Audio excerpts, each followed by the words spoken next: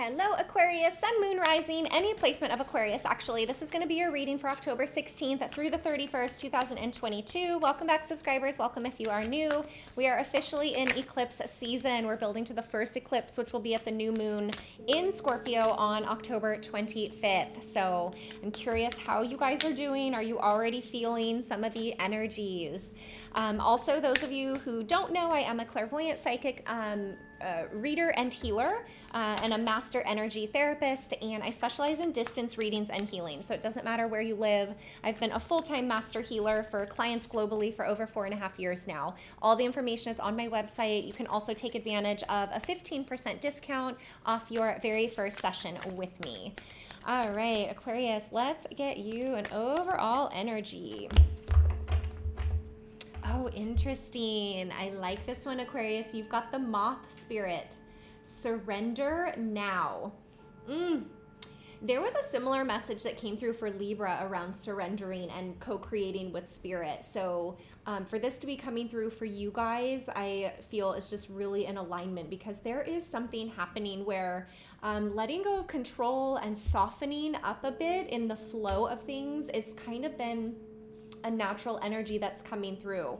So, Aquarius, if, if you guys have been feeling that, know that that is okay. And with the surrendering, I'm also hearing a surrendering of the mind, of the thoughts, of the mental energy, the personality, the ego, whatever it is that um, you want to call it. So, surrendering that energy is going to allow the voice and the messages of spirit to come through so much stronger, so much more clear, um, which really can help align you onto your highest and best path. So I'm just hearing Aquarius, if you um, ask yourself, where am I resisting or where am I trying to control? That is where some of um, what you can be releasing and letting go of will show up, and that will be that will be made clear for you. Okay. Really beautiful. All right, let's see what else we've got for you.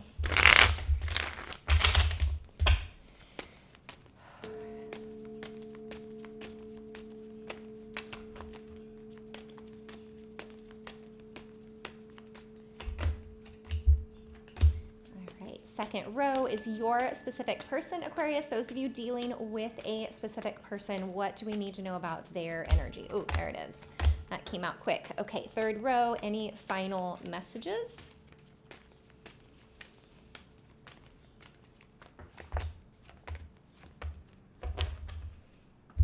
Okay, first up Aquarius, starting out with two major arcana cards. Look at this. We've got the Justice card, the Fool card, followed by the King of Cups here. So um, I'm actually really liking these cards for you. I'm seeing this King of Cups as somebody coming in for you or somebody who is actually, they may, you may have already met this person. I'm seeing them already in your energy field. So they're either um, you know, friends of friends or in your community, maybe around, you know, your coffee shop or your yoga studio. I'm seeing uh, this King of Cups energy in your space. Um, whether you have officially met or not, that's going to be different for each of you. But I do feel their energy quite strongly. They are aware of you. Aquarius, you may not be so aware of them just yet, okay? Um, but with the Justice card here and the Fool card here, I'm seeing for you, Aquarius, they're something that you've been wanting to um, be complete or finalized is coming to completion. Okay, the Justice card is coming in here to wrap up. If you have had any sort of contract or licensing or um, legal agreement or anything like that that has been in the works, I'm seeing that getting to like the final stages and completion, okay? And I'm seeing that whatever that is for you is gonna make you feel so much lighter. You have been wanting this to be finished and complete for a while now, okay? So the universe is stepping in to really help with the justice card in, um, like it says, bringing in justice where needed. You may get some answers and clarity around a specific situation that has also been unclear for you. Um, the justice card also brings in in regards to a partnership or a relationship, or this could even be a friendship or a business partnership. It brings in the 50 50 equality, okay, within the relationship. So um, if something has been out of balance for you in that way, this uh, justice card is bringing into, like the scales show, bring things into balance, okay, which is going to be a much healthier place. And with that, the Fool card, this is my footloose and fancy free card, Aquarius. So you are going to be feeling much lighter, much more clear, much more airy, which you love that. Um, and again, coming back to the surrender now, you can even ask yourself, is there any other energy or things that you can surrender, you can release, you can lighten your load, so to say. You know, what baggage needs to be dropped here? Um, another thing that I love about the Fool card is it's got the energy really focused on the journey and not so much on the destination. So, again, it allows for that surrender, it allows for that trusting in the process versus being so caught up on the end goal or where you want to be going. Because when you're focused on the journey, the end destination may change, right? It may, you may go a different direction, and that is okay. And I feel that is what spirit wants you to hear. Um, it's letting go of that control of what you want for the outcome. And I'm seeing that that energy shift in you is where this King of Cups is going to be coming into play. And the, the fact that the, the back is a little bit turned to the other cards here, this is why I'm seeing them just kind of in your energy field, but not fully, fully connected yet. So, you know, be mindful of that. You may bump into this person or meet them um, over the next few weeks. And um, could be a water sign, Pisces, Scorpio, or Cancer coming through. I've also got strong Libra showing up here as well for you, Aquarius. Um, but I will say with this King of Cups, there is an emotional maturity that is coming through in this card um, which is really important for you because you've done so much work on yourself, Aquarius, that you need somebody who is mature um, within their, their emotions and with within themselves and where they're at in their journey. And I'm really picking that up here from this King of Cups energy. They are like very clear of who they are and what they bring to the table, um, which is quite attractive to you. Okay.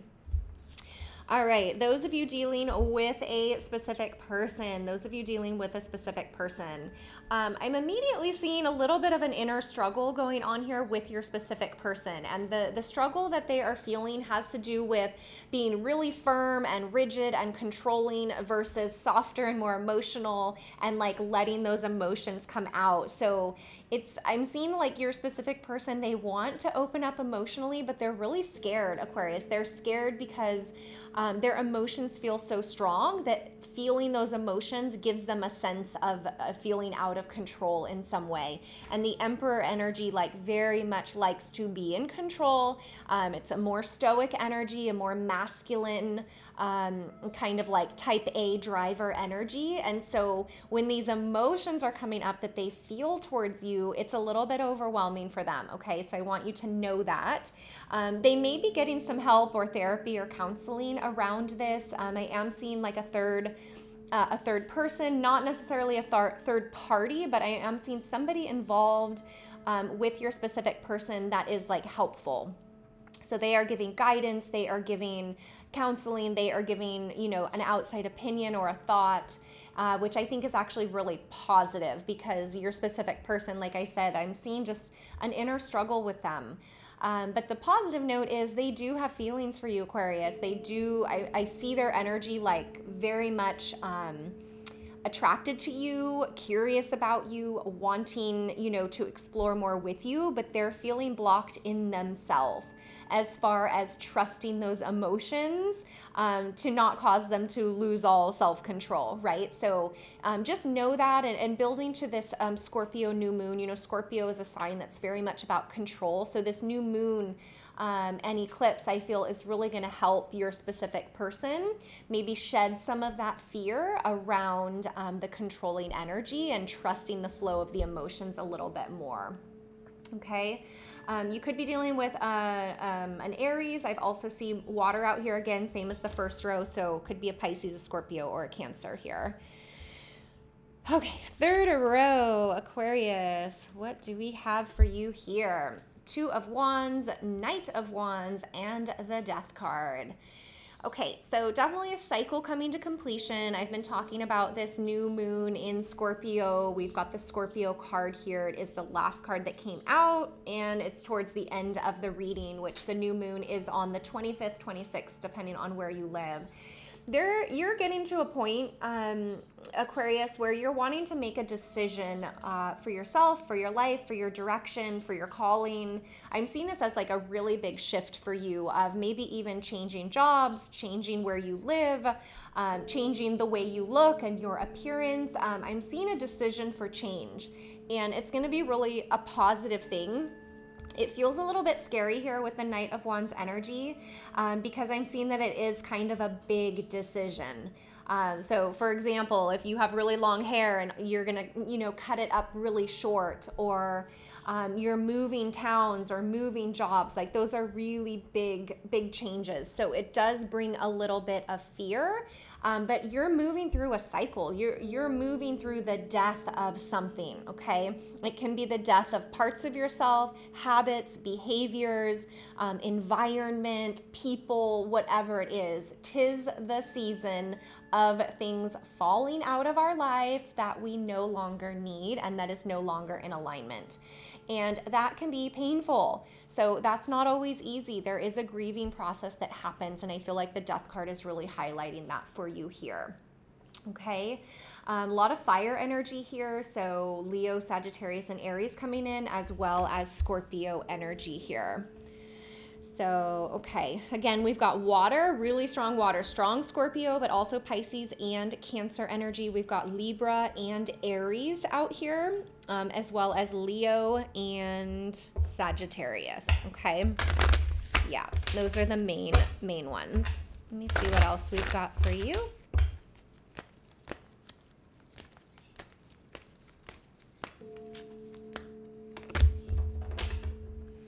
Okay, you've got the study card. Um, I'm seeing this as like a study, study meaning being aware of your awareness. Okay, so studying some of your habits, your patterns, like being aware of, oh, why am I reacting this way? Or why did I feel that when this happened? I'm seeing you like do a self study here um, which is really beautiful. That self reflection is really powerful for you, Aquarius, and it's going to help with this surrender now energy. Um, because as soon as we become self aware and kind of curious about the self, that is a form of surrender. Typically, the mind or the personality is more rigid, more like this is how it is um, type energy. So as soon as you shift that into why is this the way it is? Or why do I respond or react this way in this situation? That is a form of surrender. So I'm seeing be curious about yourself, be playful, you know, within yourself about your patterns and your habits. We all have them. We all, you know, block ourselves in one way or another. And I'm seeing this as a really beautiful opportunity for you to kind of shift and grow past that. All right, let's get you a spirit animal message.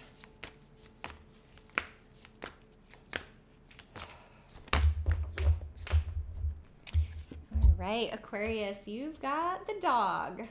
Friend. Today, I will love without condition. My energy and enthusiasm are an inspiration. I choose to be happy.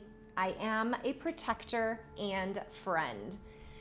Beautiful, Aquarius. I'm seeing this for you as, you know, the more connected with yourself, the more you surrender in trusting and allowing, I do see your connections around you getting stronger as well because there's more room for people to be who they are with you because you are being more of you, who you are with them. Um, so I'm just seeing the friendship, the companionship of those around you is also going to be really important for you. And that may be shifting a little bit, which is quite beautiful. I think that's all that's coming through for you. I hope this resonates, Aquarius. You can always watch your moon sign, your rising, or really any other placement of Aquarius. Um, thank you for the likes, subscribes, and comments. They really do make a difference. And if you missed the intro, I am a clairvoyant, psychic reader, and healer, and master energy therapist. I specialize in distance readings and healing. So it doesn't matter where you live. I've been a full time master healer for clients globally uh, for over four and a half years now. The link below to my website has all the information there for you, as well as a 15% discount off your very first session with me. Okay, so you can take advantage of that if you feel called to do so. Otherwise, Aquarius, I think that's it. I'm wishing you guys a beautiful finish to October. Enjoy this new moon and the first eclipse. We've got the second one coming in November, and I will see you guys back here for the second half of, um, or the first half of November readings. Take care.